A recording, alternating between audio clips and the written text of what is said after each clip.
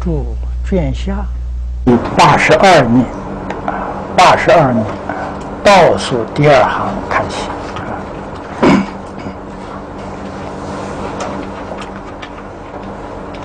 欲修无上菩提者，乃至出离三界苦。世人既发大悲心，先当斩理大思想，一切诸愿速成就，永无业障能遮持。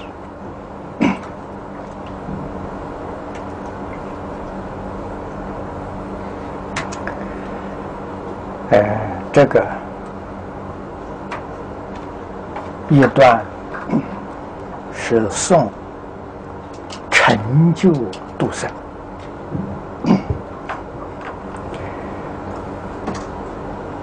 欲修无上菩提，这是菩萨发现啊，无上菩提。就是无上正等正觉，说处理三界苦呢，这个小乘人也做到了，在佛法里都称之为真正觉悟的人，啊，三界之苦，实在说是苦不堪言啊。啊，真正觉悟的人呢，一定要想着永脱三界轮回。啊，三界就是六道，啊，三界是指欲界、色界、无色界。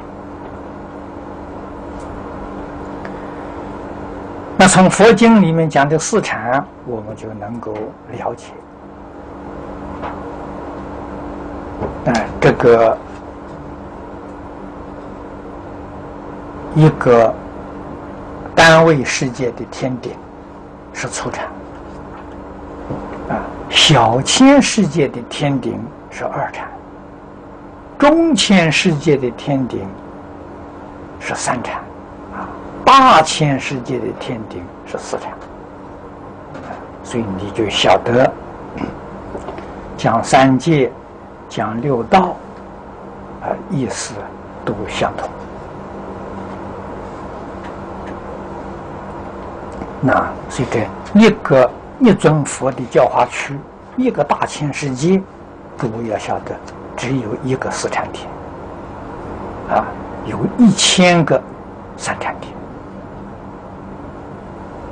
啊，这个这个呃，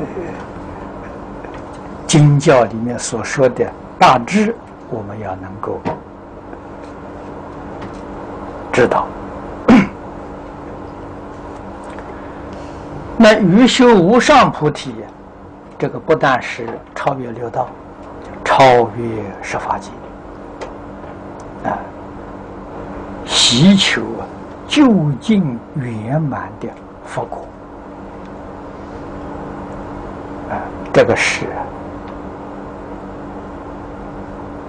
志愿眼光大的啊，那么超脱三界呢？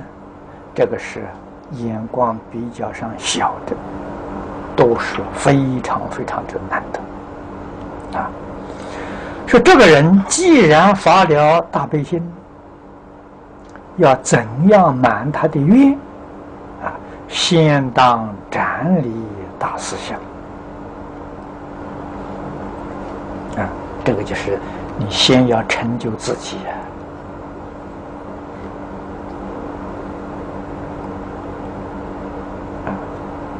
你的意思前面说的很多了，这个地方就不再重复了。啊，最要紧的是要依教修行。你像《华严经》里面讲的护法，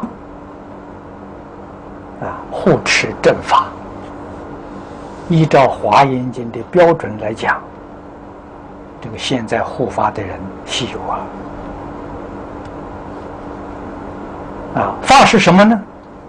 法是教理行果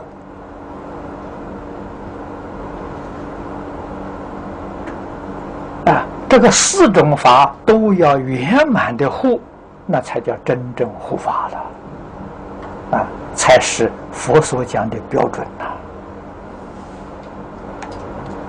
我们讲护持道场、护持某个法师不行啊，那个跟佛的标准一比，那那就不是护法了啊。所以佛经上所讲的，一定要有相当的理理解啊，而后才知道怎样去做才是入法。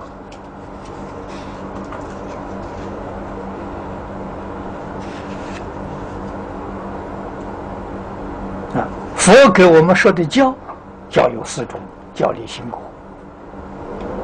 我们怎样去修呢？在信解行正。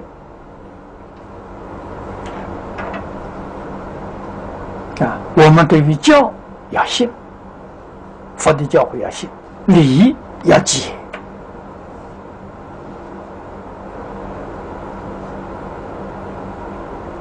啊，行要修啊，果要正。啊，所以我们自己要做到啊，信解行正。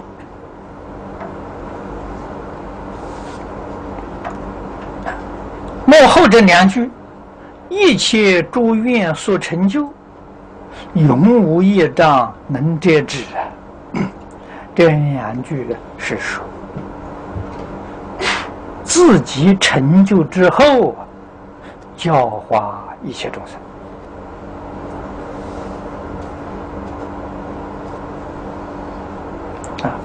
诸佛如来示现在众生界，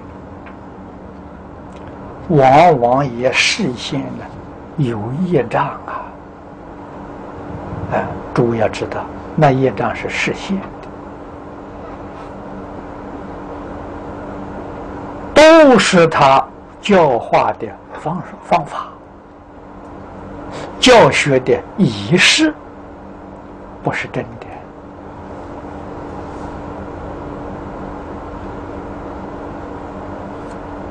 的啊！让我们凡夫之人呢，深深警觉到因果的可畏啊！世间圣人，孔老夫子。我们在传记里面念到，孔子再称绝良啊，他也挨饿啊。释迦牟尼佛也曾经有三个月马麦之报啊，遇到饥荒啊，托钵没人供养。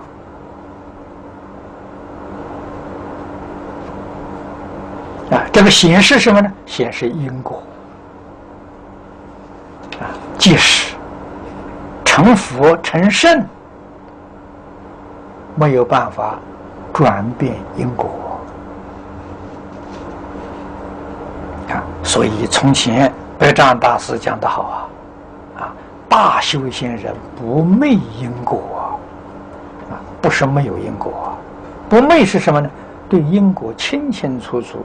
明明白白啊，所以受报的时候啊，很甘心情愿啊，知道我现在所受的，过去造的是什么因。啊，现在的这个果报。啊，清楚明白，不像世间人，世间人遭遇一切苦难的果报，不知道，不晓得什么原因。啊，以为是别人给他的。怨天尤人，受报的时候还遭罪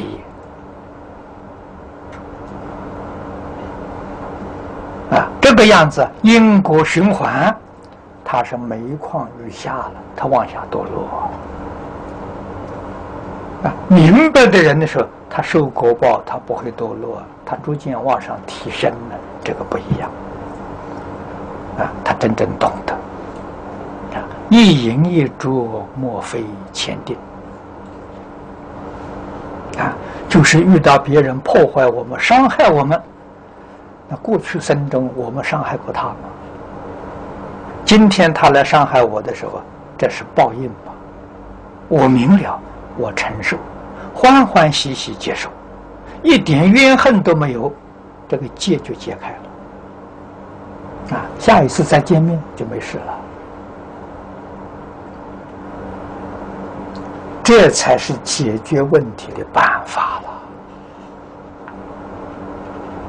了。啊，绝对不能用个报复的心来解决问题，那是那诸位要晓得解决不了的。啊，报复。你杀他，你灭他一族，来生的时候他灭你的族，是一样的事情吗？啊，因果循环，越演越残酷。那么换一句话说，越堕落越深呐。这哪里是解决问题的办法？啊，解决问题真正的办法，解结。把这个冤结解开啊！所有一切这个这个呃不善的果报都都要承受啊，你才能够化解。那么在菩提道上，无论是自己修行、弘法利生呢，这障碍就没有了啊！所以诸佛菩萨示现种种这些相。都是让我们觉悟的，啊，让我们明白，也是教导我们应当啊怎样去做。啊，实在讲，这就是生活。佛教给我们生活，教给我们处事做人。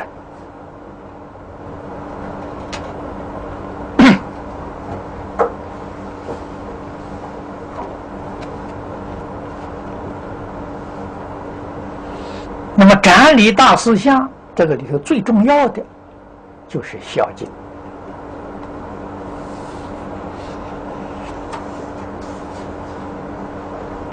啊，孝敬要扩展到什么地方？扩展到对一切恶人、一切冤家，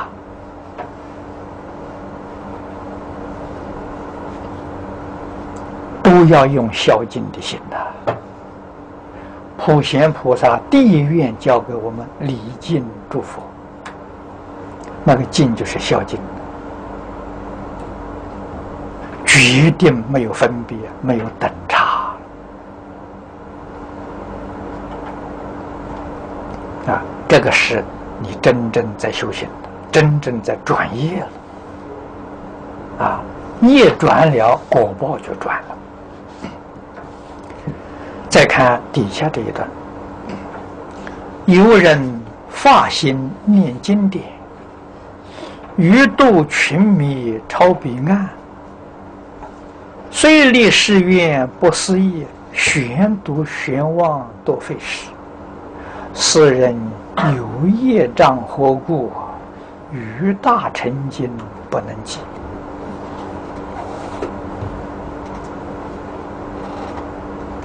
第四段呢，就是松求智慧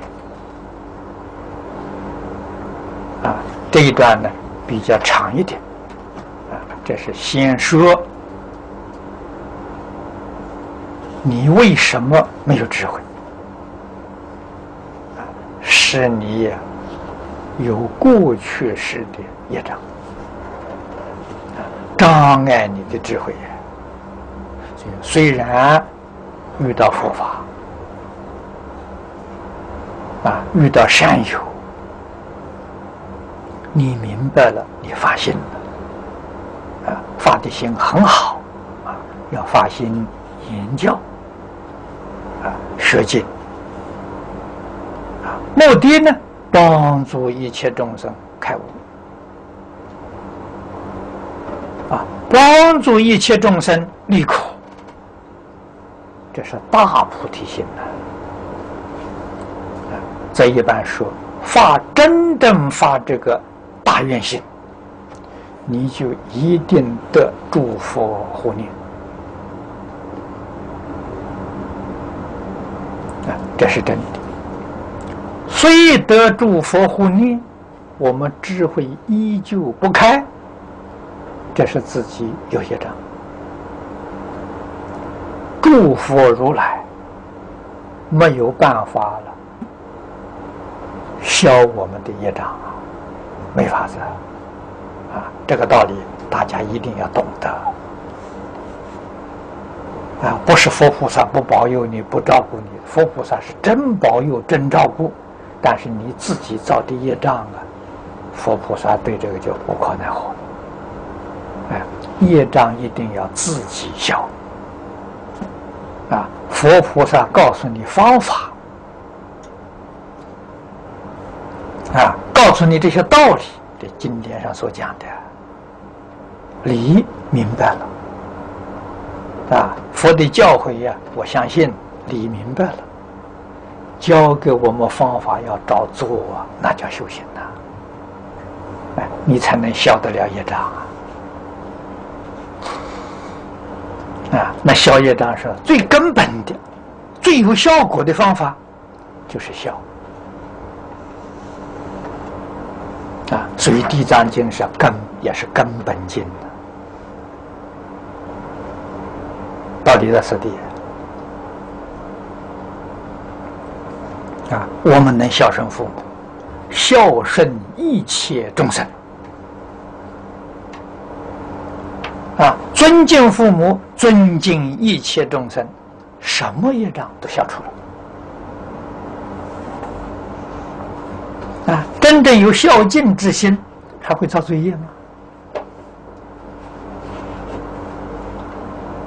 还会以恶意对待一切众生，不可能的嘛？那就是真的断一切恶，修一切善，啊，所以你才晓得孝敬是根本呐。啊，为什么佛在这个经上一再教给我们啊？先当斩立大思想，道理在此地。啊，所以命很好。啊，佛菩萨也照顾你，可是你读经呢，你还是一面读一面忘。啊，纵然多闻，也不能开悟。这个这个人有业障，迷惑，所以与大乘经不能计算。那下面教给我们的方法，啊，供养地藏以香花。亦复、饮食、住玩具，前面长行文都讲过了，教给我们修行的方法，啊，供养，诸位想想，如果没有孝敬，怎么可能供养呢？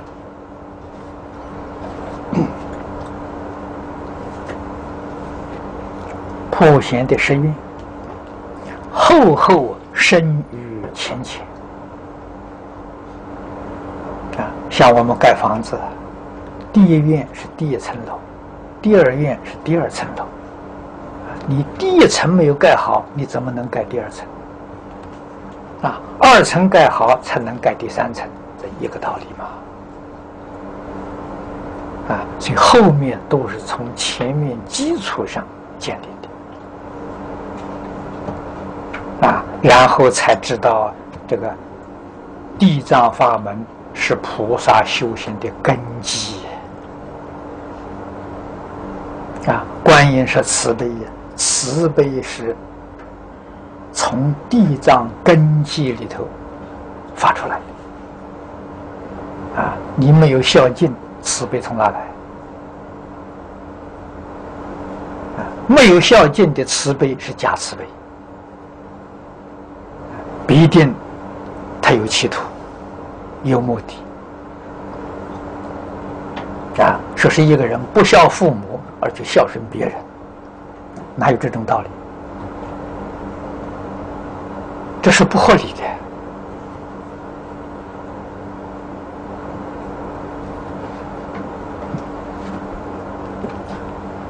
啊，没有礼敬哪里会有赞叹？啊，没有礼敬的赞叹。那我们晓得那是虚伪的，不是真的。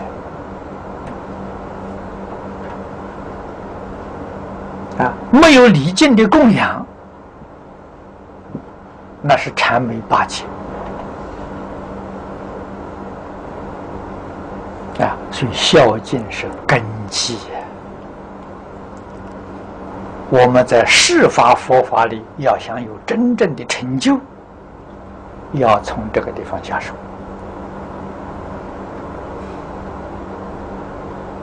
啊，如何能真正做到孝敬？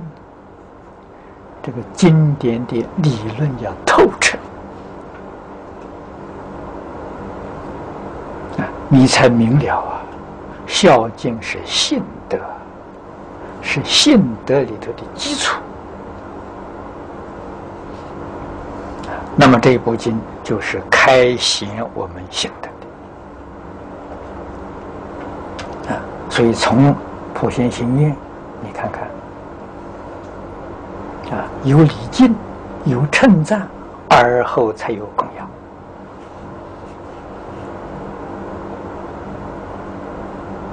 啊，供养菩萨。以香花、衣服、饮食、玩具这些表法的意义，前面都说过了。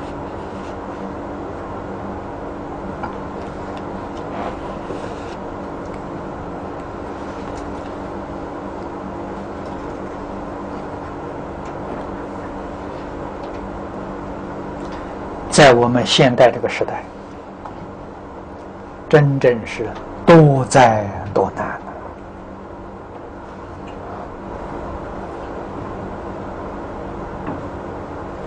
不但众生业障深重啊，自己的业障同样也深重啊。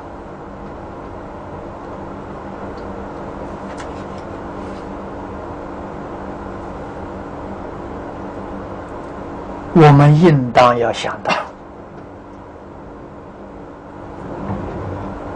如何帮助自己？如何帮助别人？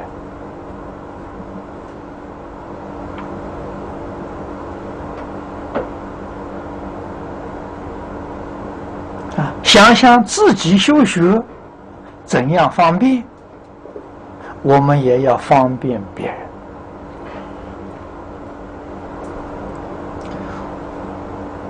须知。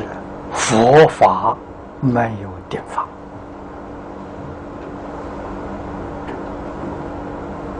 啊，经上常常教导我们的原则：随类化身，随机说法。那个随就是恒顺众生，随喜功德了。你不顺。不随，不但度不能度众生，也不能度自己。啊，何以不能度自己呢？不能随，就是执着。啊，就是分别执着。执着的心不能突破啊，六道出不了。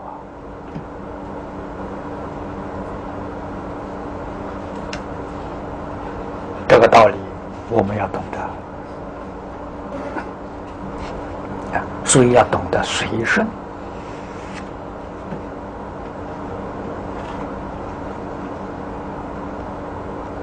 啊。世间啊，确实障缘很多，这妖魔鬼怪魔障。有有形的，有无形的。无形的是鬼神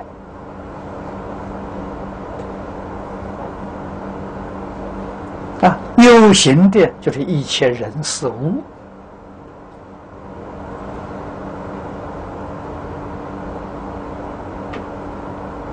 啊，怎么会产生魔障呢？都是自己往昔无量劫来造作的恶业嘛，恶业会造成障碍，善业也会造成障碍。啊，善业是爱缘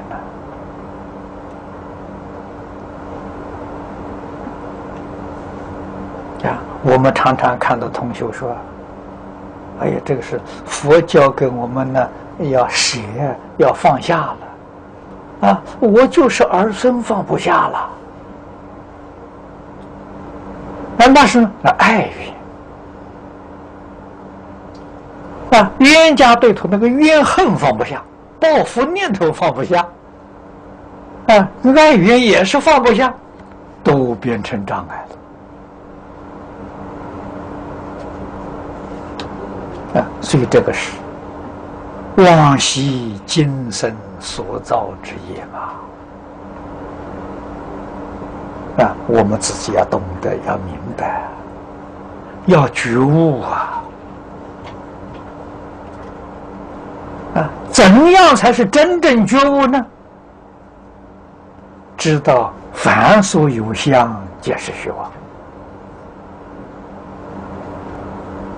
啊，《金刚经》上讲的好啊。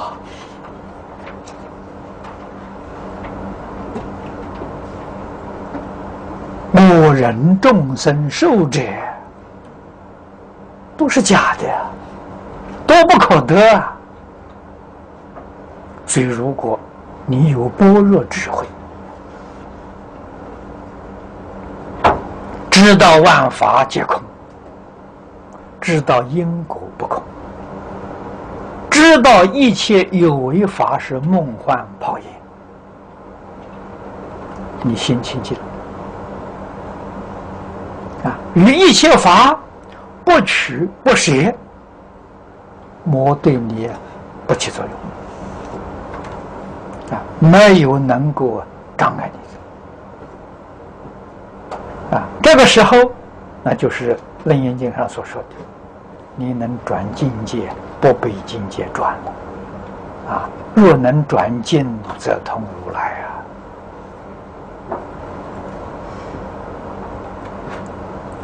这个才是真正用力磨脑啊！可见的用力磨脑，不是到处躲避呀，躲避不了的呀！啊，用力磨脑啊，就是看破事实真相啊，全是假的，一场空啊，一场梦嘛。啊，即是无形的这些魔外呀，边都沾不上。为什么沾不上？你没有边了，你有边，它才能沾得上。你没有边了，啊，这个道理我们要懂啊。你有我，你就会受害；无我，谁受害？无我就没有受害的啊！一切众生为什么受这些障碍？有我啊！冤家对头要报复，哎，你在那里，我我找到你了，我来报复你了。如果你没有了，我没有了，他找都找不到。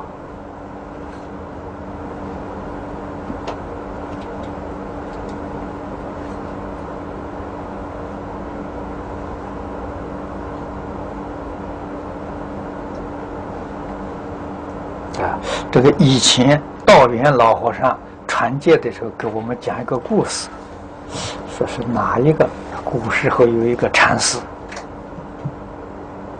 名字我一下记不得了，啊，禅定的功夫真好，入定之后啊，心静具空，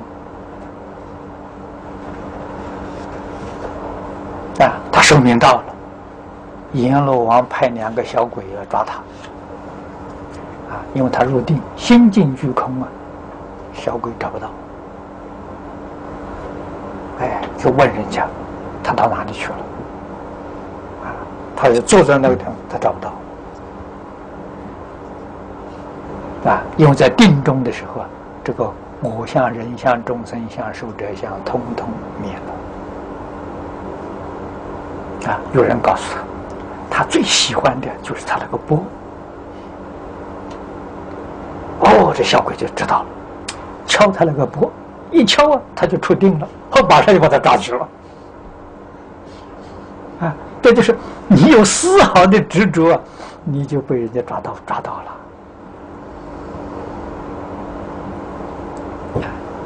所以，凡是有嗜好，都有麻烦。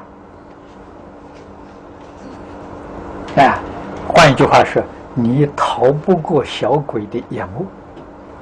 啊，他时时刻刻能把你抓住。啊，这个就是没有彻底放下了。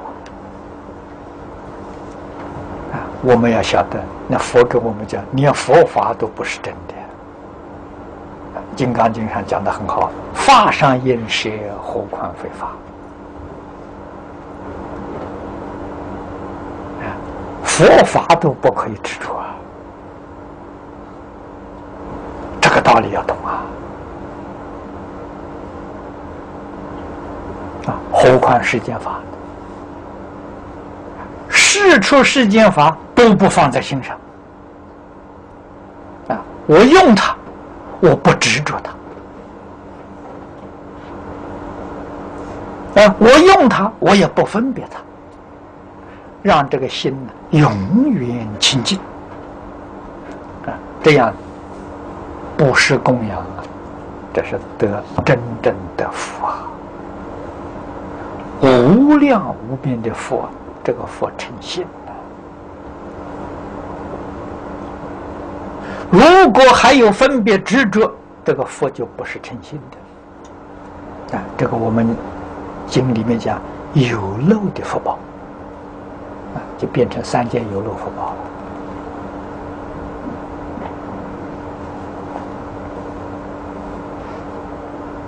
啊，修学，同学们，你们想想，要不是天天在一块研究，天天在一起讨论，天天学习。我们业障习气很重啊，一转头就迷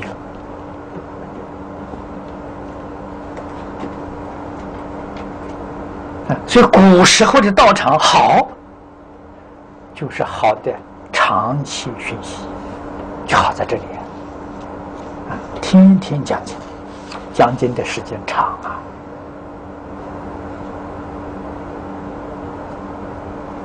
啊，我们现在是一天。两个小时讲经，跟古人比打对折了。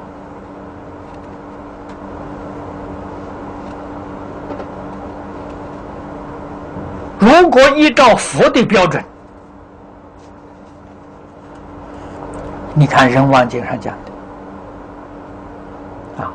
二十讲经，这讲我大家在一起学习、研究、讨论的。在教理行果上下功夫啊！二十是现在的八小时啊。佛经讲的时候，印度啊，印度那个时代，一天昼夜是分为六时，昼三十，夜三十，所以二十啊，它一时是等于我们现在四小时，二十就是八个小时啊。所以佛陀那个时代，那些人跟释迦牟尼佛修行的，他怎么不不正果呢？一天八个小时在讨论经教的时候，他还有什么功夫打妄想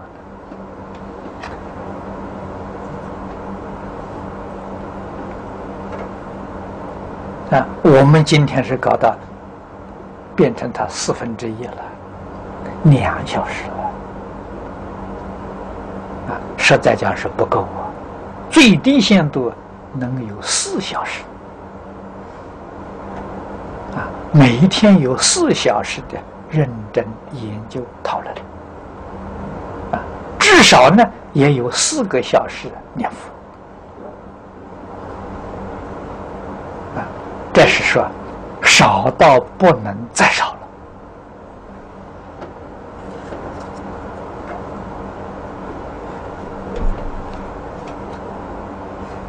了。啊修行我们现在明白了。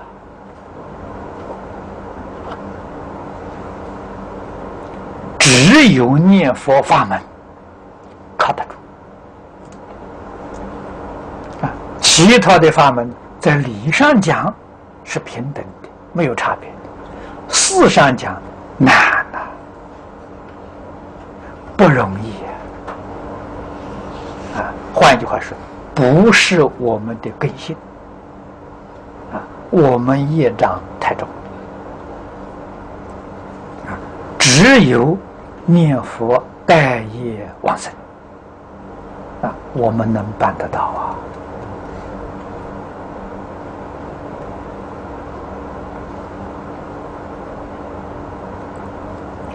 桩事情，只要真干，没有一个不成就的。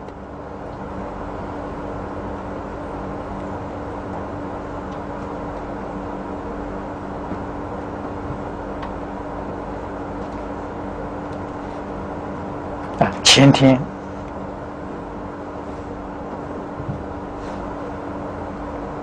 晚上，我到红谷去吃饭，听说他们现在生意很不好，我就看看他们。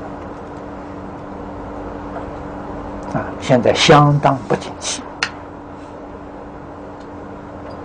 啊，在那里看到一篇西地带。是讲这个死囚往生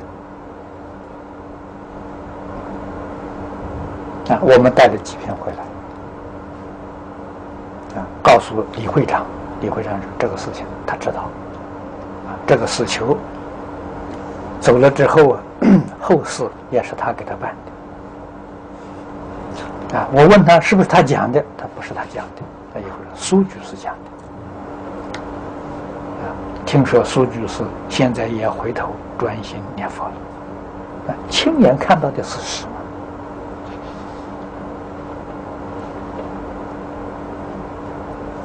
啊！所以李居士在这个监狱里头度了不少人呐，真正往生了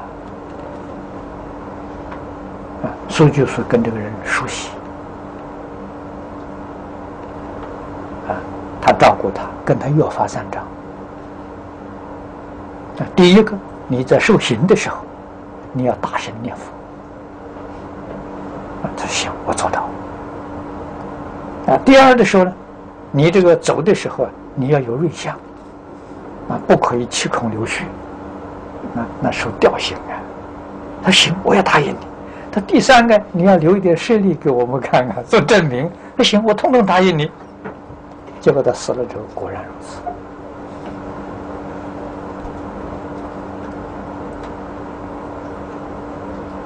啊，吊死之后的时候，颜色非常好，很正常，跟一般修行人完全不一样。活化时候真的有舍利。啊，所以有同学问：哎，他是不是自己知道呢？不是的，愿心，他有这个愿力，就能做到啊。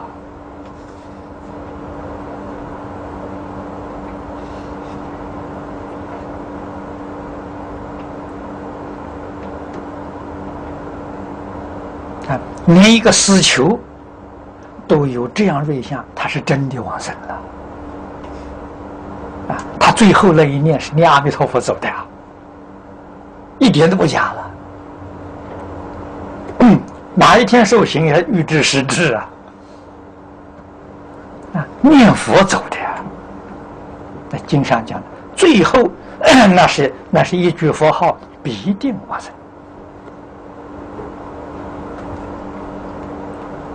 生前造什么样罪业，做什么样的错事，你在死前真正能够悔改、忏悔往生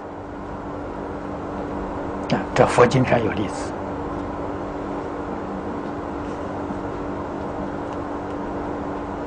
《观无量寿经》上讲的二十世王，造忤逆之罪。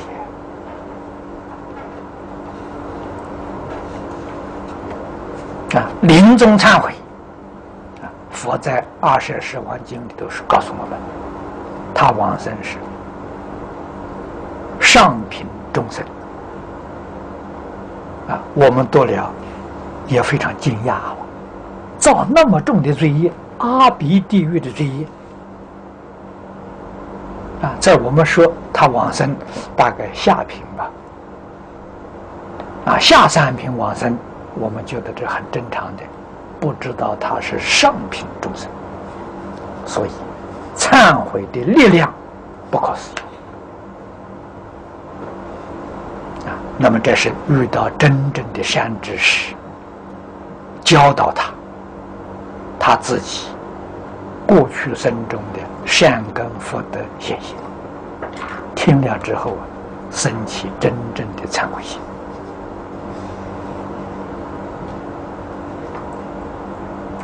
这都是我们应当要学习的啊！所以你真正修，就会有真正有感应所以这是我们讲到供这个供养啊，要从孝敬心里面生起来。供居都是表法的。然后以净水安大寺前，一日一夜求佛旨。这个前面都讲过，这是求感应。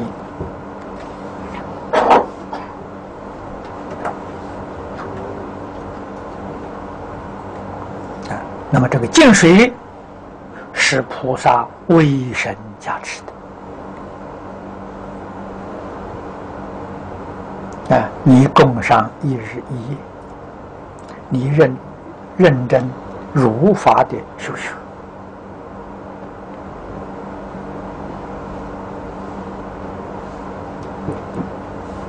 这才能得感应。啊，那么下面还有两段，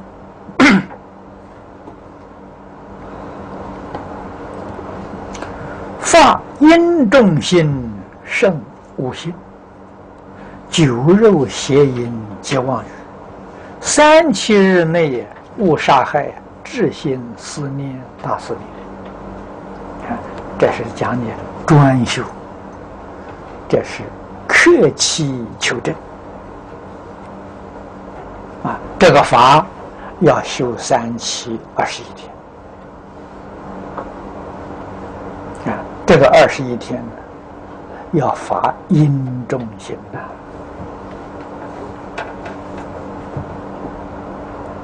啊，修学这一段当中，胜五心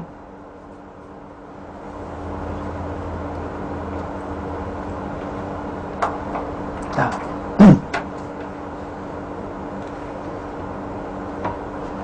这个五心。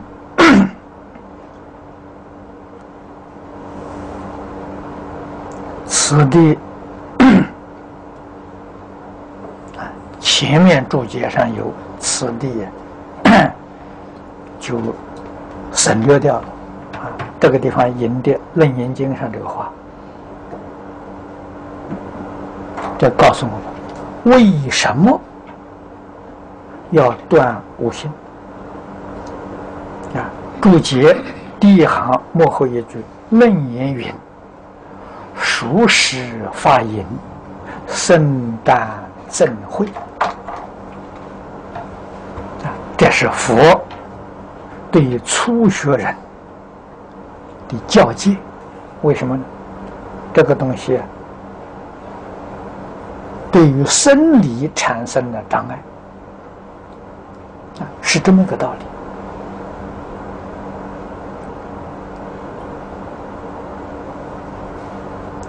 我们要减少障碍，所以对于饮食不能够不选择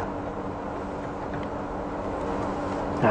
但是要晓得，世尊当年在世的时候是托钵，托钵的时候，人家给什么就吃什么，决定没有分别执着。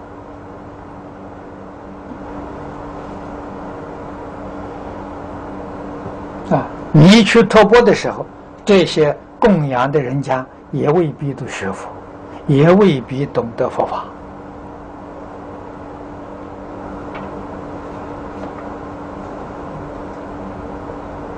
啊，所以给什么吃什么啊！但是在真正修法的时候，我们不能够不留意所以现在世间人说到饮食，只知道注重卫生，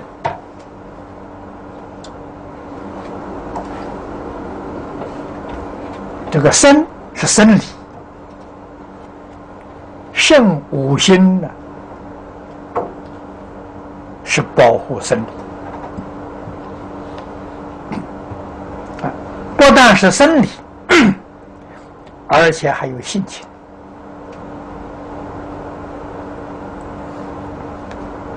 啊。能够着重啊保护生理、保护性情的人就不多了啊。注重卫生的人很多，很普遍。知道要保护自己的性情，就少了。啊，这个五心的性情性质不好，影响我们的情绪。熟食这个东西，它是助长荷尔蒙。会引起性冲动，这是发炎，这属实。啊，生吃的时候呢，容易引起肝火，发脾气。这道理在此地。为什么佛说这五样东西不能吃？道理在这里。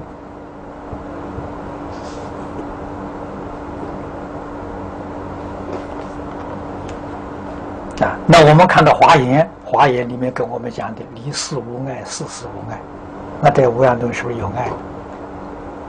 哎，这五样东西也没有爱。你自己功夫不够，你功夫不到，他对你产生障碍。你真有定功，那他对你就没有障碍。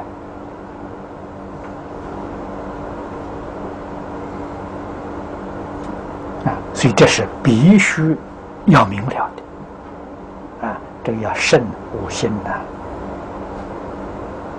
下面啊，酒肉这是心荤心啊，那这就说明素食啊。邪淫及妄语这个一句，就是讲的十善业啊。一定要断食恶业，修十善业啊！你在这个三七二十一天呢，这是持戒念佛，此地是念地藏菩萨名号啊。换一句话，现在所谓讲的大地藏起。哎，地藏期的期限是三个期，三期二十一天呢。啊，专持地藏菩萨名号。啊，这里的关键的字样是至心思念，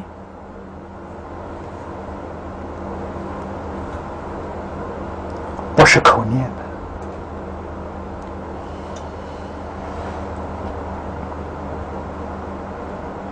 的啊。这个心呢，真诚到极处啊！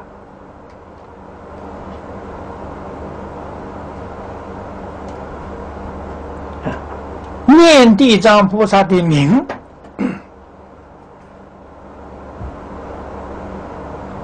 名与德相应啊！你念的就相应，念名就思德。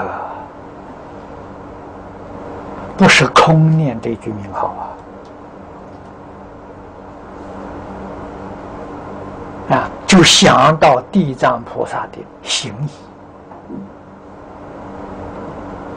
地藏菩萨的慈悲，地藏菩萨的教诲，哎，你就会想到这个文明，你能够想到提醒你自己，见相也能想到，啊，我们就想到要依教奉行，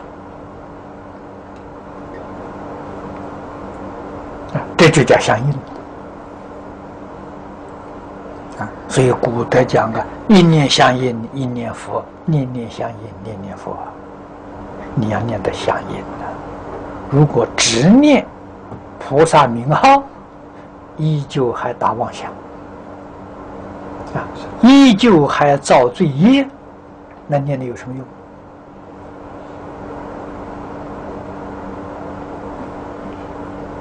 用？啊，寒山拾得过去讥笑。啊，过心寺的这些法师，啊，念佛就喊破喉咙也枉然。什么原因呢？不相应啊！啊，是念的要相应的。从这个名里面，你一定要思念教理行果，这是真念。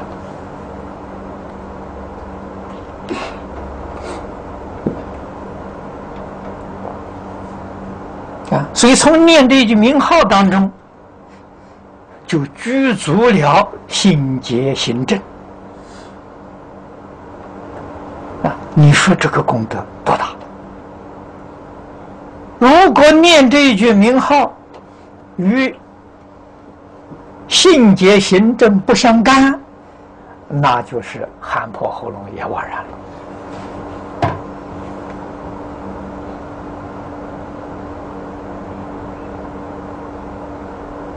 那么这无论修学哪一个法门，这个原理总是要明白的。幕后这一段，这讲果报，基于梦中见无边，这无边就是地藏菩萨的无边身呐。无边身是说地藏菩萨的化身，无边是多，无量无边。啊，众生有感，佛菩萨就有应。啊，你在梦中见到地藏菩萨的化身呐，啊，菩萨给你摩顶，给你受记啊。觉来变得立根耳，啊，你这感应道教醒过来之后啊，你就聪明了，啊，你根性就立了，你所求啊就感应，应是经教立耳闻，啊，以后你再读经，再听经。千万生中永不忘啊！啊，句句都能一持啊，都能记住，都能够去依教奉行啊。所以前面 这个修学最关键的字眼，至心思念，就在这四个字。我们今天依照这个方法去修，为什么没有效果？这四个字我们没做到啊。我们今天做的是形式啊，哎，打个地藏旗，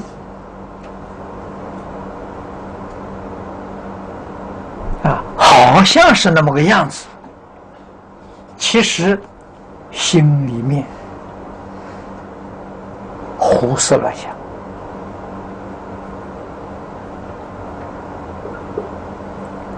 没有诚意啊，所以所求不能相应的。别说打三个七不相应，三十个七还是不相应。经上讲的没错，我们自己做错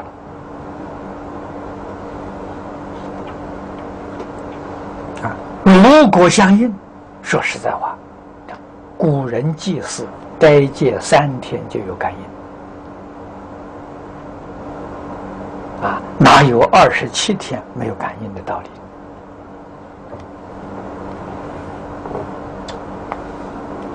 啊，一是大事不思议，能使世人获此惠。这是地藏菩萨不可思议的威神加持啊！实在也是自己啊，至心之所感呐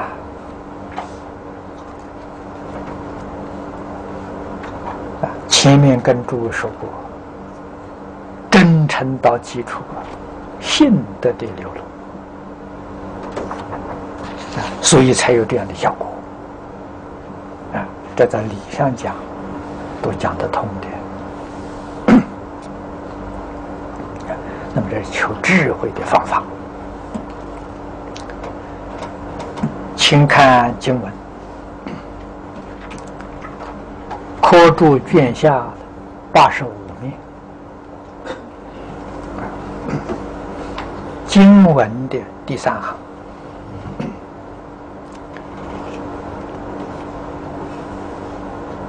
贫穷众生及疾病，家者凶衰眷属离，睡梦之中喜不安，求者怪为无称岁。这个一段是送转灾难。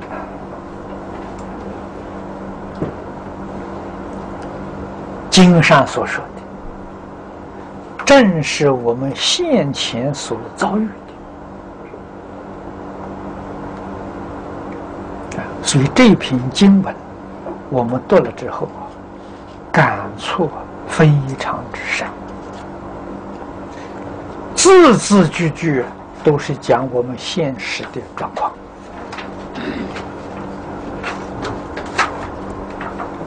佛菩萨教导我们修学的方法，如何能够改变我们生活环境？啊，回转我们的业障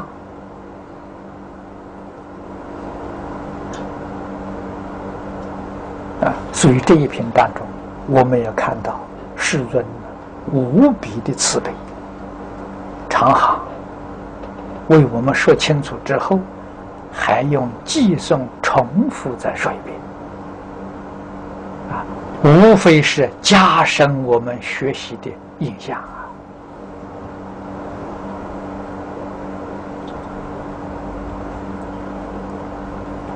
啊，那么这一首里面都是讲的这灾难的事实，啊，现在这个世界。贫穷众生多啊，啊富裕的人毕竟是少数啊。我们要常常念贫穷苦难的这些众生，他们的疾病不仅是生病。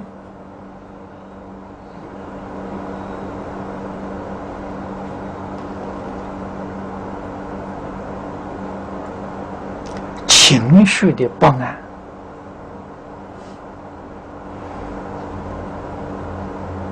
智慧不开，这是心病啊，比生病还要严重。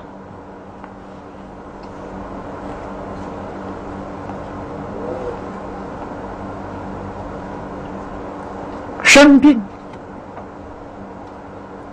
需要药物来医疗，来调养；心病需要佛法，帮助我们破迷开悟。佛告诉我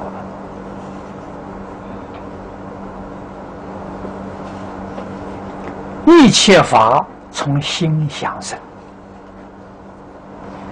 啊，这一句是真理呀！一句话道破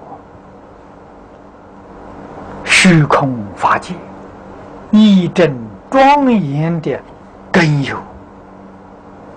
一语道破，从心想生的，心善，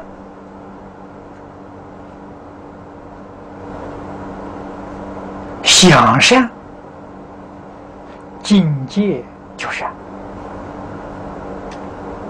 心迷惑。想邪恶，环境就恶劣。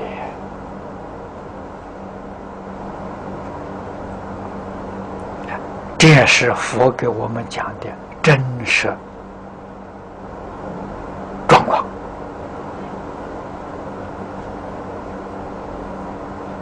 啊，宇宙人生的真相。真正明白了，觉悟了，他就从心底里面呢就改了，啊，把过去。恶的念头。写得干干净净，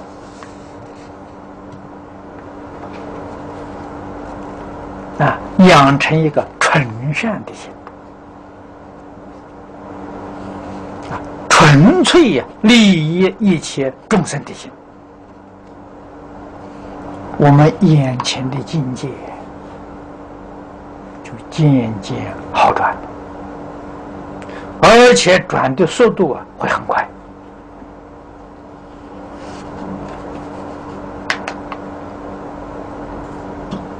啊，然后所求啊都能满愿。下面，这也是我是教给我们修行方法，啊，智心斩离地藏相，关键都在智心。啊，斩离地藏相，就是修孝经，真心效法。地藏菩萨的大孝大敬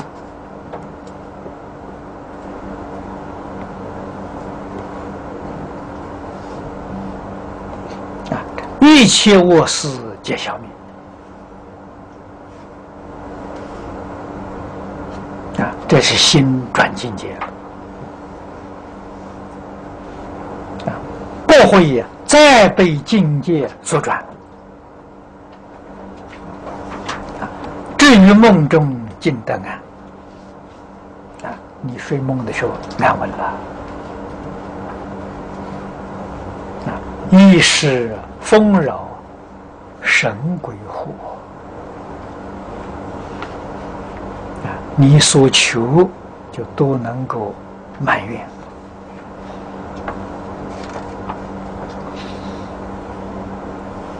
那么修行的关键。就在效法地藏菩萨，学习地藏菩萨，大孝大敬，孝顺一切众生，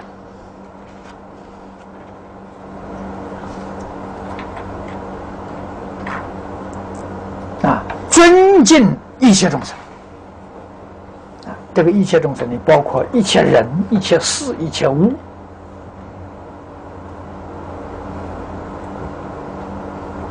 这个才能够快速的转变过来。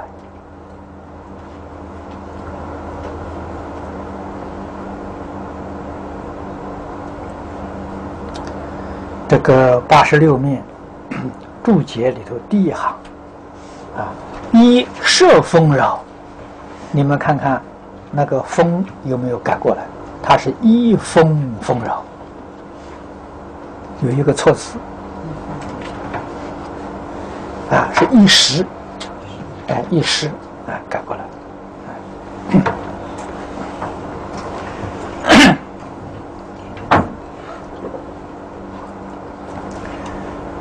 我们再看下面一首颂：鱼入山林即渡海，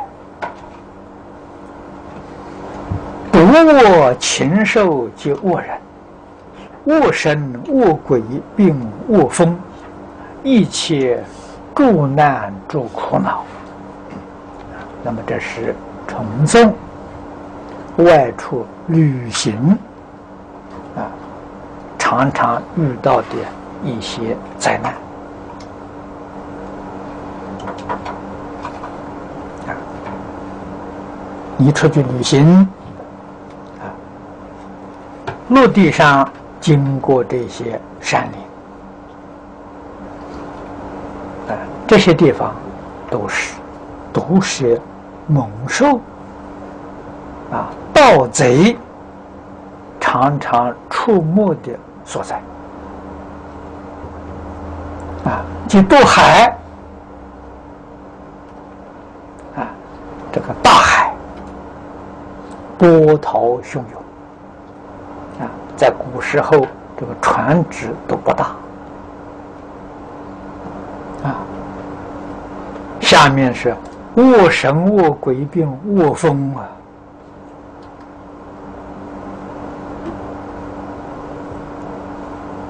这个卧风。指这个渡海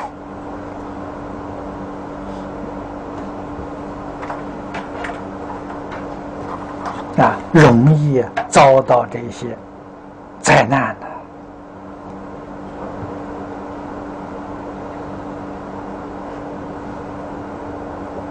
的啊，这个卧神卧鬼，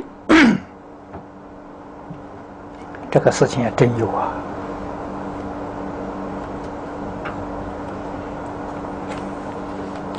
上一次雷居士在此地给你们讲了不少故事，啊，那都是他亲身所遇到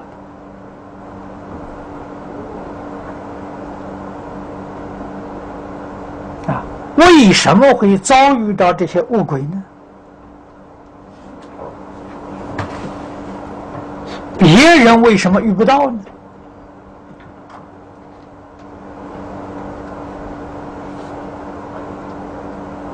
那么由此可知，在因果定律上讲啊，还是一因一着，莫非前定。这些恶神恶鬼，过去生中跟他没有这个恶缘呢，他不会找你麻烦的。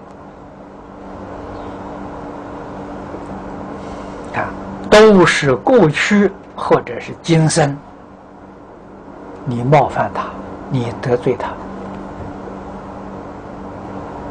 啊，他来找你麻烦呐，啊，自己没有羞耻，没有德行，啊，他对你不尊重，啊，所以容易。遇到这些事情，这些事情真有。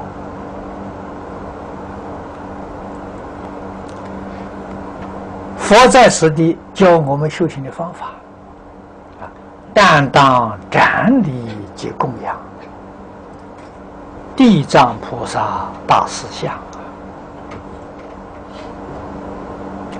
如是山林大海中，应是诸物皆消灭。啊，那么《长行文》里面讲得清楚，我们在旅行没有出发之前，啊，读《地藏经》，念地藏菩萨名号满万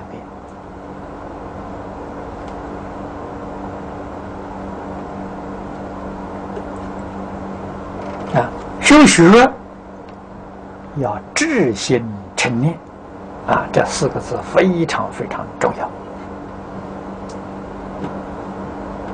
啊，真心成念的啊，思维菩萨的功德，效法菩萨行仪啊，这个鬼神不但不恼害你，还要保护你。啊为什么呢？尊敬你，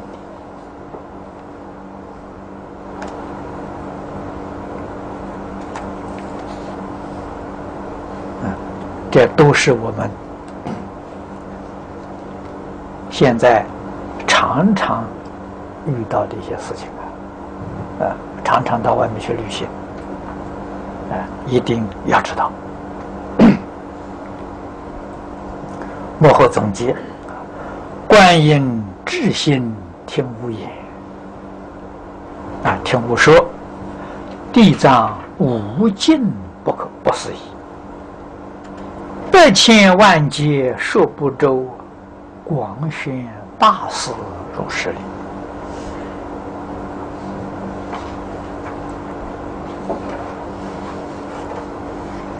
那么这个科注里头，科科判里面借送了普告。留步啊！世尊劝导观世音菩萨流通这一部经典啊。那么观世音菩萨当然到处为大家介绍。地藏菩萨的行啊？为什么呢？如果没有地藏菩萨的基础，观音菩萨的慈悲就没有依靠啊！啊，观音菩萨慈悲从哪里来？从孝敬的发扬光大。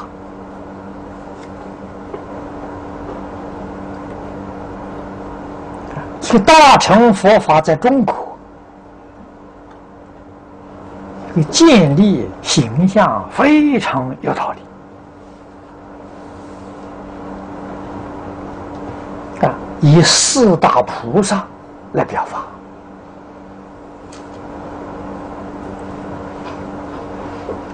啊，所以大乘从哪里学起？从地藏学起，地是心地。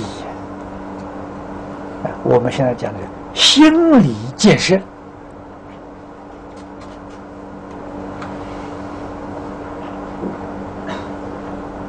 心理建设是根本呐。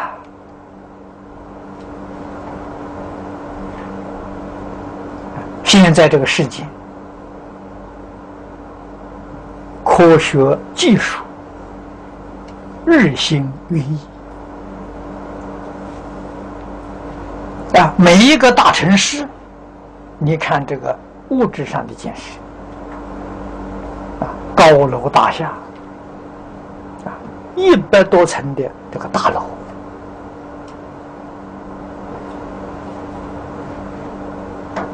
许多大城市里面，我们都能见到啊。可是社会为什么不能安定？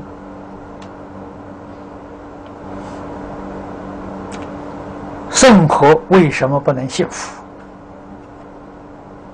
疏忽了心理的建设啊，没有健全的心理，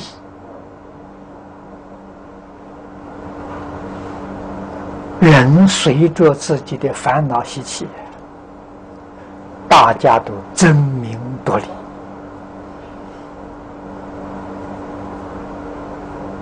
啊。孟夫子说的好啊，如果上下交争利，其过为也。那我们看看现在的世界，正是孟夫子讲的这句话了。啊，一般人信不信呢？不相信啊！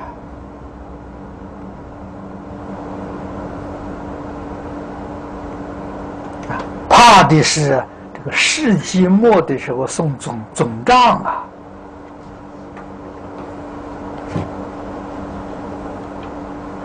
啊，这是我们真的提心吊胆。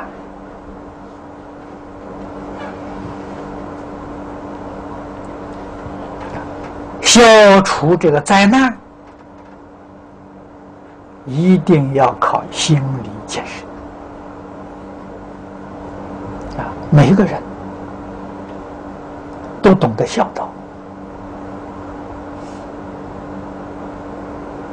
啊，都肯定孝道，都能以孝敬之心待人接物。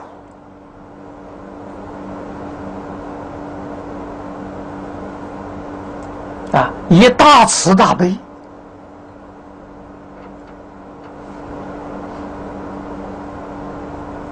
帮助一切众生，这个世间的灾难立刻就化解了，烟消云散了。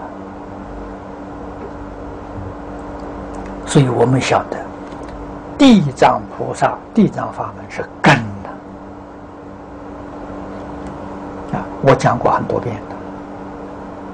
佛法没有别的，就是一个孝字。而中国文字，实在讲已经显示出这个法门的不思议。中国这个孝字是会意啊，我们体会这个字的意思啊，这个孝里面含的什么意思？净虚空变化界是一体，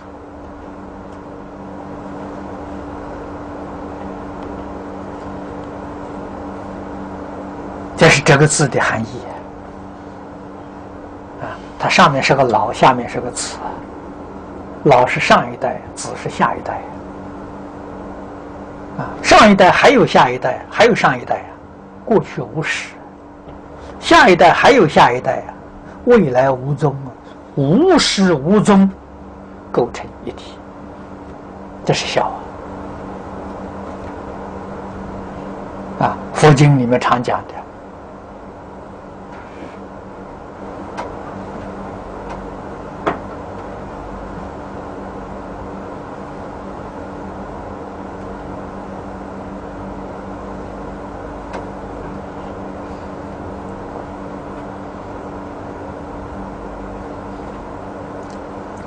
虚空跟法界是一体。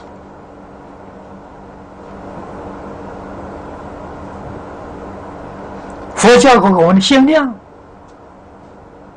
要心包太虚，量周杀界，这是孝的意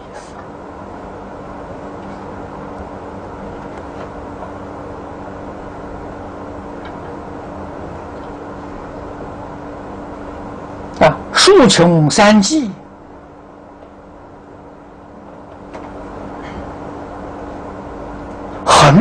十方也是孝的意思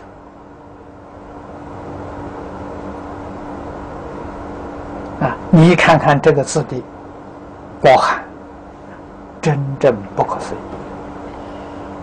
所以佛家的修学，始从孝道，终到成佛了，孝道的圆满，嗯，就叫成佛了。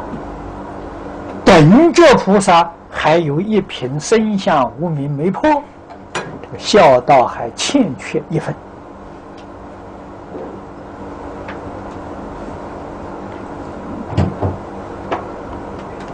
啊！所以谁能把孝做得圆圆满满呢？祝福如来，才真正把孝道做圆满了。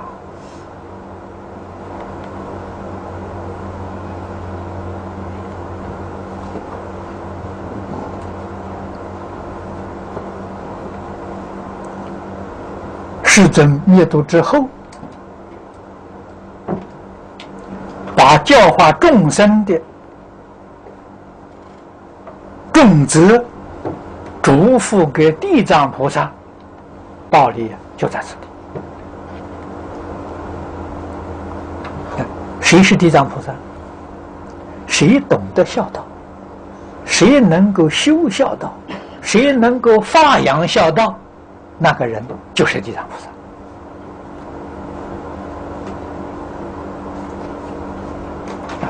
地藏菩萨多了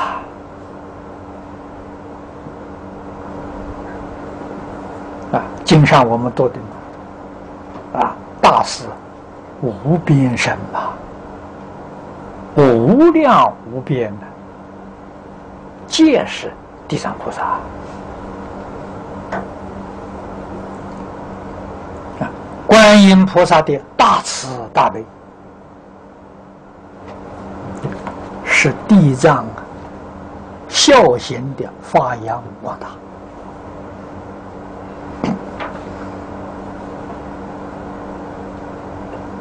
我们讲孝亲、尊师这个心，孝顺一切众生，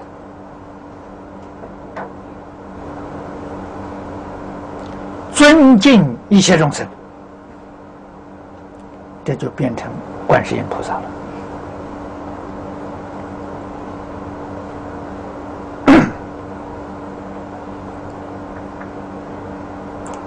孝敬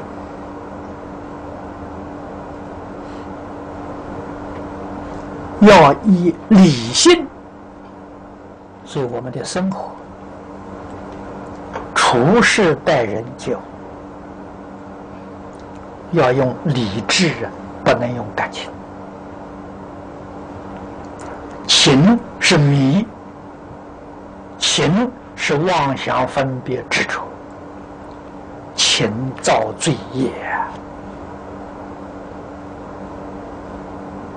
情识变现六道三途，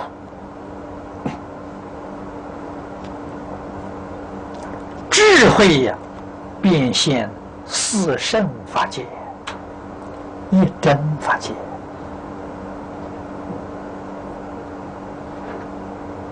这个差别呢，就是情与智。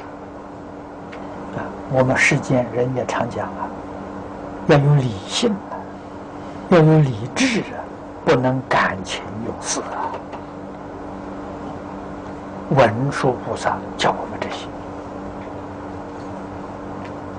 普普贤菩萨呢，是把这三种恶事，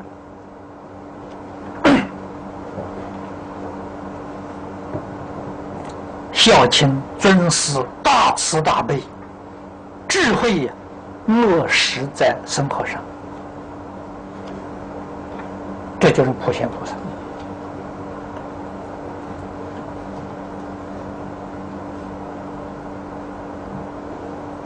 所以，这是中国佛法的特色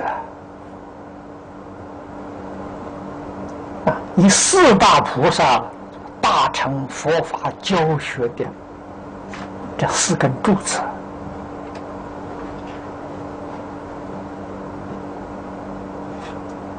啊，这样造成一个富丽辉煌的宫殿！这四根柱子一个都不能少。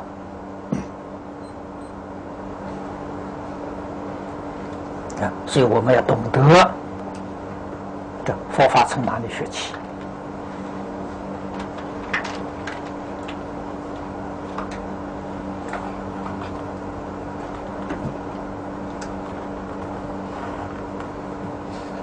世尊嘱咐观世音菩萨流流通，也就是教导我们，特别是在末法时代。啊，为什么经里面所讲的，全是我们眼前的事实，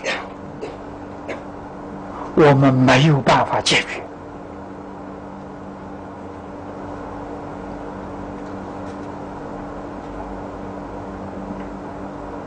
要靠我们觉悟的人啊，为一切大众啊宣扬、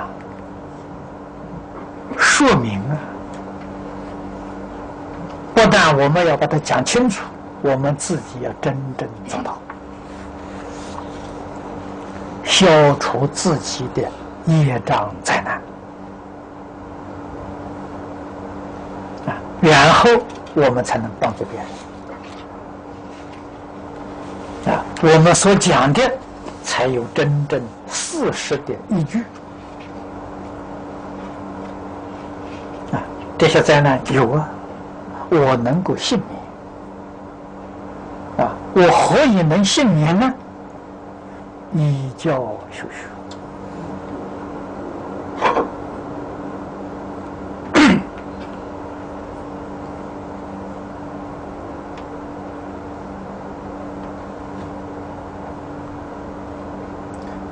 邪鬼附身，常有的事啊。在我们学佛人讲说招魔啊，什么叫招魔？就是邪魅附身呐。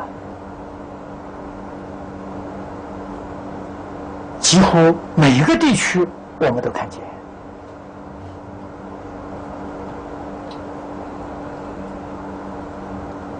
啊。我们自己有没有呢？也有啊，不过没那么严重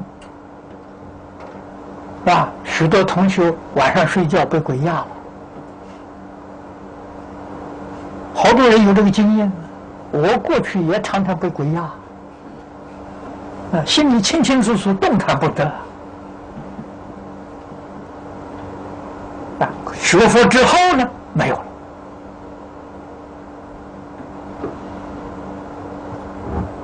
这从前李老师告诉我，叫压鬼，啊，这佛经里都有的。人在运气衰的时候。欺负你，欺负人啊！啊，人在运气很旺的时候，他不敢接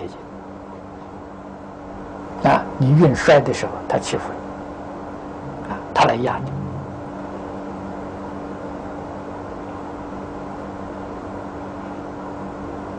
我们从这些事实当中体会到，真有啊，不是假的。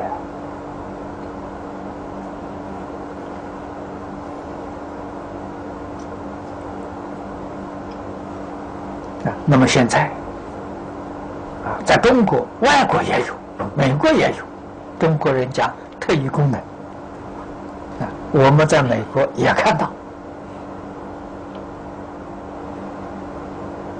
啊，所以他有第三只眼呢，他能够看到这些奇奇怪怪东西，我们一般人肉眼看不见，啊，他能看见。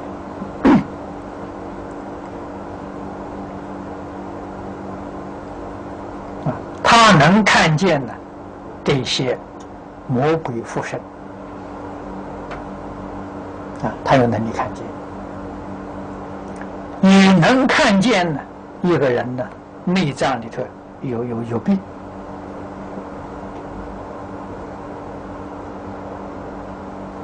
我过去在迈阿密遇到几个美国人。啊，迈阿密是一个很奇怪的地方，奇奇怪怪人的住在那里很多。啊，那个时候接待我的是曾宪伟居士，他在那里成立一个念佛社，啊，请我去讲经。曾居士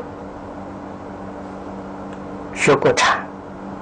也跟一些喇嘛学过密，啊，对于这些这些事情啊，很好奇，很喜欢，啊，所以对于这一类的人呢，他接触的很多，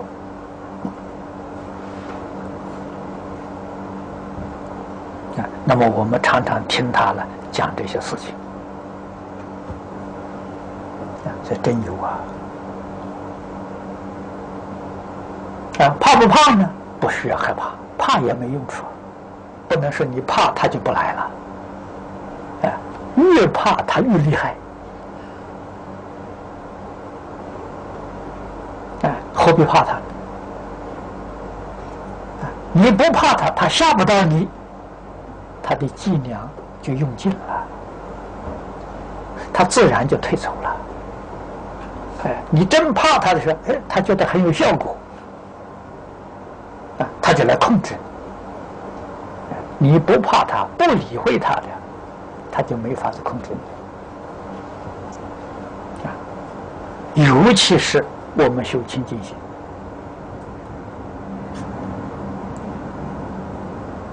啊，那最高的境界无我，真正《金刚经》上讲的，四相破了，一切妖魔鬼怪都没有，啊，就是边都沾不上。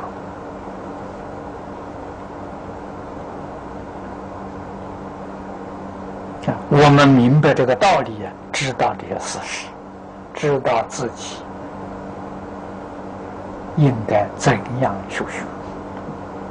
成就真实的功德啊！成就自己，利益众生啊！这个鬼神呢，就魔王也是如此啊。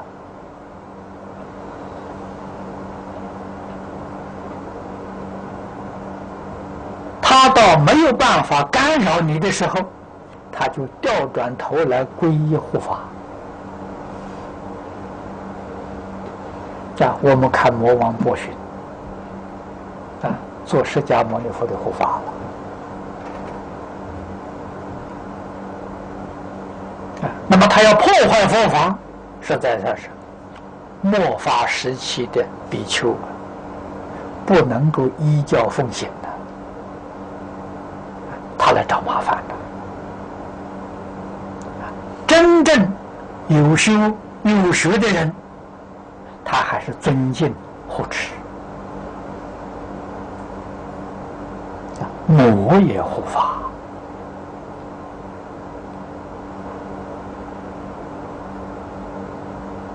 这正是佛经里面所讲的，一切众生皆有佛性的，魔也有佛性啊。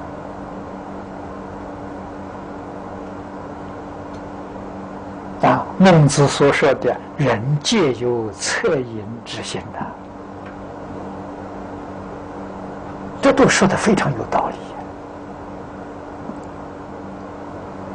啊，再恶的人，看到别人受苦，有的时候也生同情心的，啊，也能生起怜悯心啊。啊，恶人尚且能生，何况善人？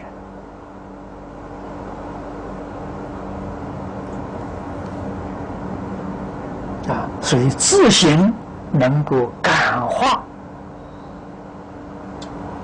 一切恶人、恶鬼、恶神啊，都能受感化。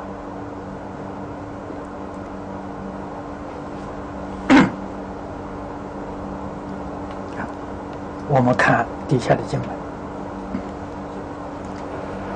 地藏名字人若闻，乃至见相斩礼者，香花衣服饮食奉供养百千寿妙乐。若能以此回法界，毕竟成佛超生死。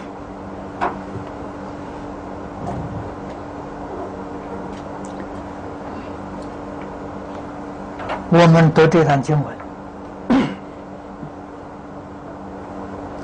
才知道说造像的功德殊胜，不可思议。啊，原因在哪里呢？就是给一切众生有文明见相的机缘呐，你给他这个机会。所以这个功德就殊胜了。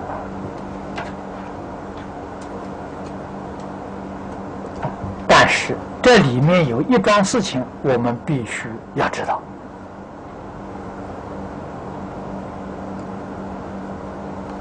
佛法盛行的时候，才有啊非常殊胜的功德。为什么呢？大家认识。听到地藏的名，见到地藏的形象，孝亲的心升起来了，啊，尊师重道的心升起来了，效法菩萨行愿的心升起来了，这个是名字形象，启发众生的善念。那个功德就太殊胜了。如果佛法衰微，没有人宣扬，大家把佛菩萨形象当作偶像，当作迷信，不能说没有功德啊，只是这个功德现前得不到啊，现前得到什么？叫一切众生造业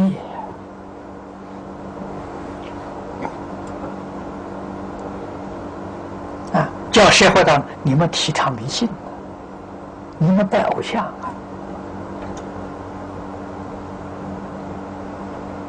啊，虽造罪业，但是这个形象业力眼根，名号业力耳根，永为道种，那功德在这里。是他造作的罪业要不要受报呢？要受报。啊，罪业果报在三途啊，三途报尽了，在处理三途遇到这个善缘，你的善根成熟，啊，以这个机缘得度，这些道理我们要懂。那么在什么时候建这个建造佛像最适宜呢？是经教啊普遍宣扬之后，大家知道了啊，所以塑造佛菩萨的形象，给人带来是正知正见。这个功德就无量无边了。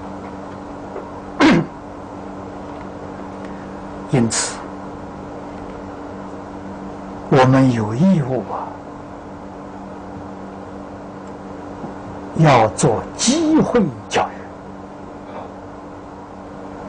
非常非常重要。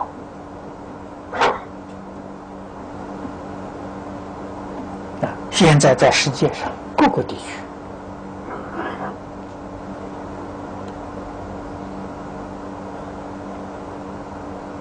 佛教一切的建筑，无论是古代的或者是现代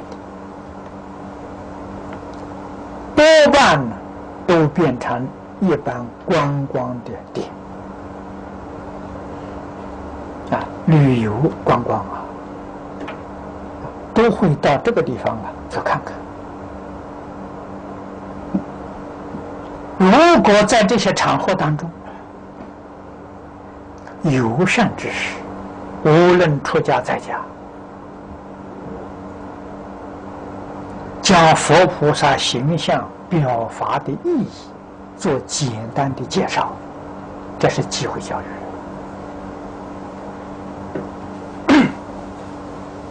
啊，他来参观道场，道场里供奉的这些佛菩萨，一尊一尊给他介绍。他表什么意思？等于给这些观光客上一堂课啊，让他不至于啊误解了佛法啊，告诉他这个绝不是拜偶像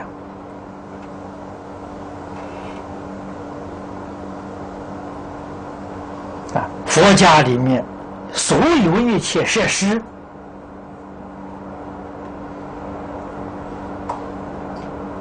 有啊，很深教学的意思在里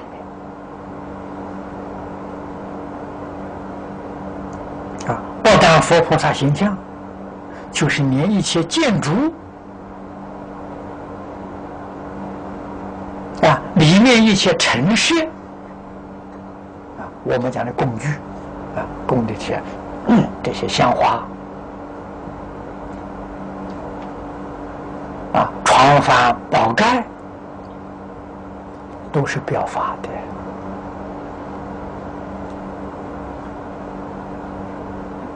用现在教育的名词来说，叫教具、教学的工具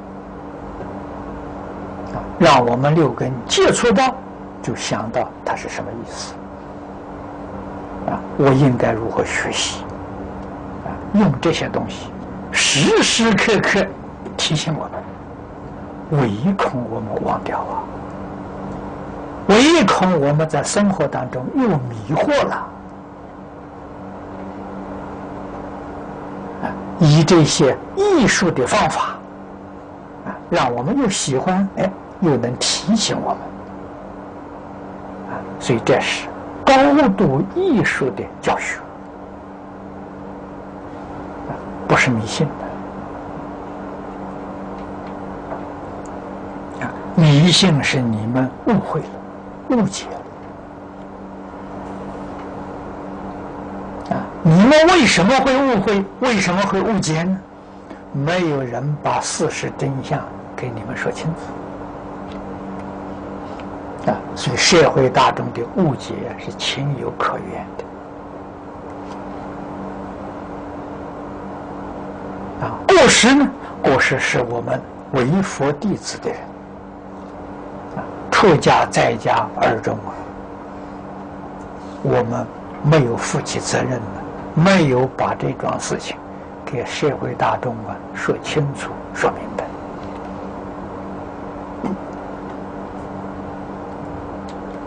白啊，就这文明见相啊，为什么会得利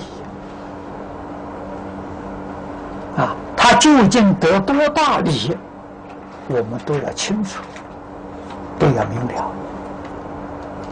幕后这两句好啊。若能以此回法界，回向法界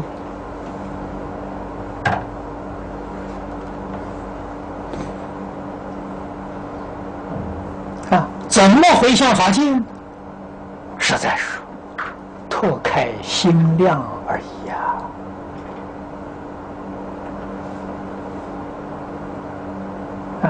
世间众生。念念都是为自身的利益，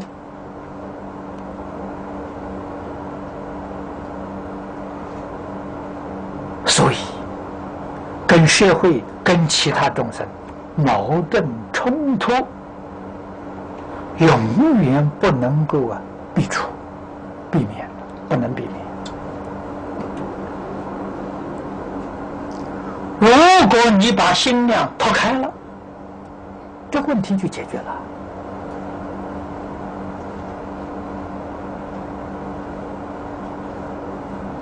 啊，我们举一个比喻，注意从比喻当中细细的去想。啊，我们住在自己家里，没有出门的时候，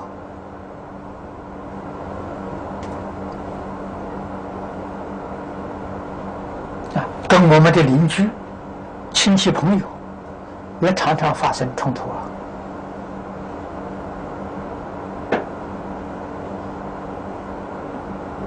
啊，离开家乡了，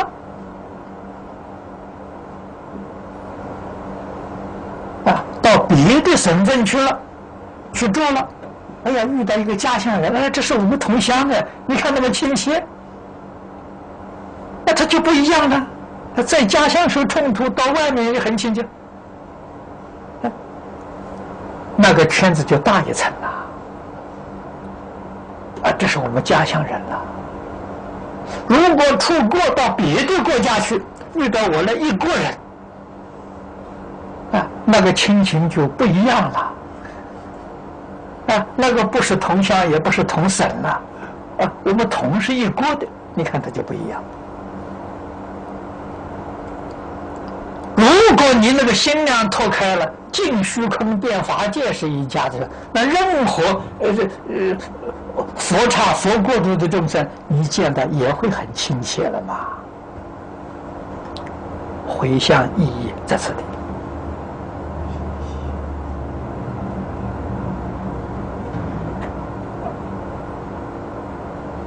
地啊，所以那个小的误会、小的冲突，就通通都化解了。佛的伟大处，佛是把净虚空变法界看作自己的家了。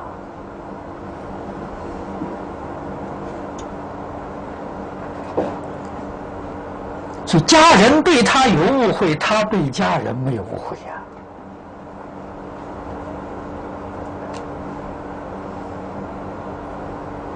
这是真的，这不是假的。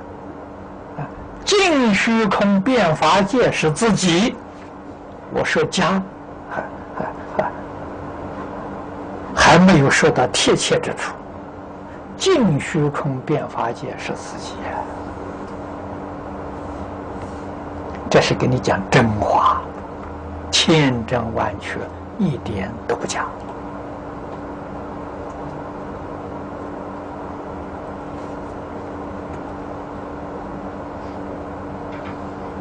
设法界一真庄严，就是自己的身相。什么身呢？法身。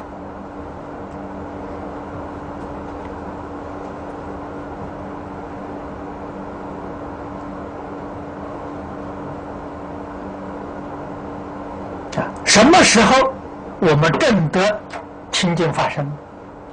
到哪一天你忽然觉悟了，净虚空变法界是自己。你就真的清净发生啊！你真的清净发生的时候，你现在这个身呢，这业报之身呢，马上就转变成圆满的报身啊！圆满报身，智慧现前了啊！圆满报身是智慧身呐。你生活在真实智慧当中啊！我们常讲，你过的是高度智慧的生活，那个身就是报身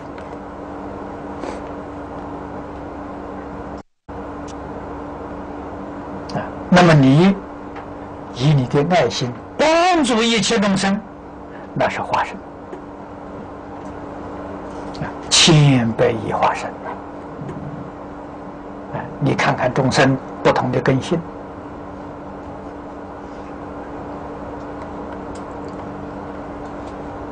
啊，不同的族类，不同的愿望啊，你以不同的方法都能够满足他，都能够照顾他啊，都能够利益他，这个就是千百亿化身呐。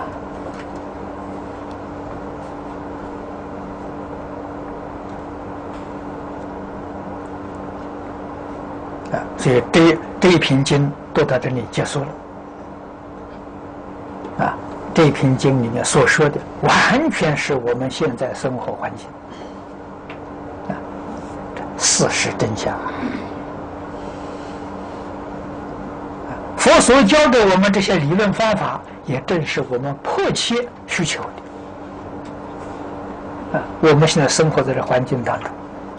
每一天焦头烂额，想不出方法来解决。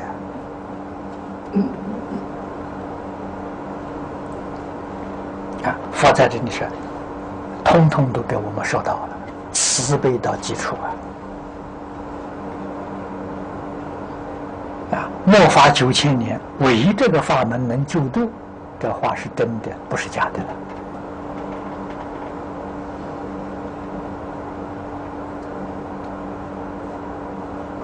你这个法做根基，啊，真正的根基，我们在开经的时候就跟诸位说了，这部经上所讲的《观经三福》的第一福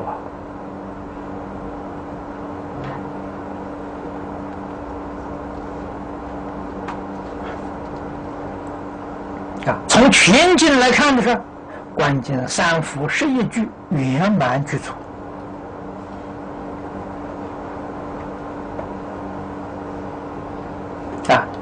宗法门是以这个为基础，啊，以这个基础来念佛求往生，决定得生净土。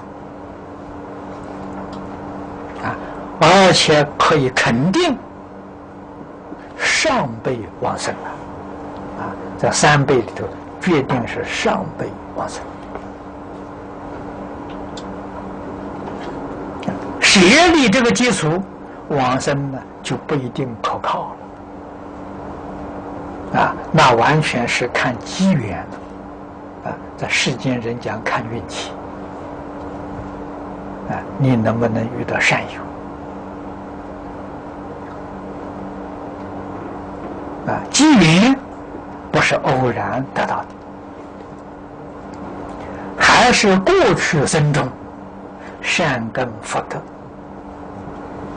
成熟啊！遇到缘才有用啊！啊，临命终时，他才能信、能愿、能行啊！啊，他才能悔改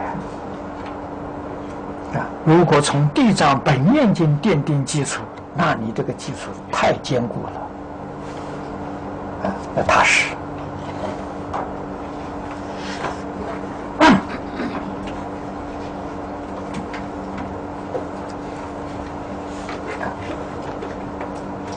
所以，若能以此回法界，毕竟成佛超生死。啊，这句话我们能接受，能相信，能肯定。是故观音如当知，普告恒沙诸国度。啊，我们敬爱观世音菩萨。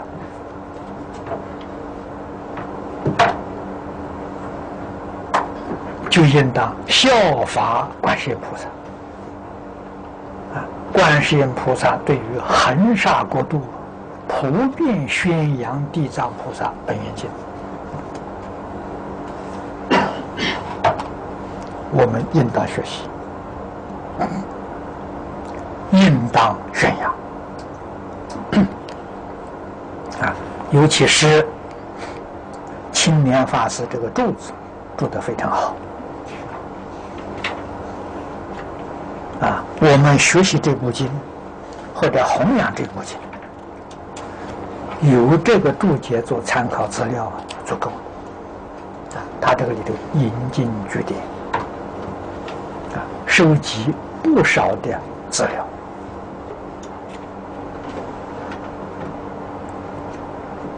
啊，那么在我们劝告别人的时候。可以收集这个最近的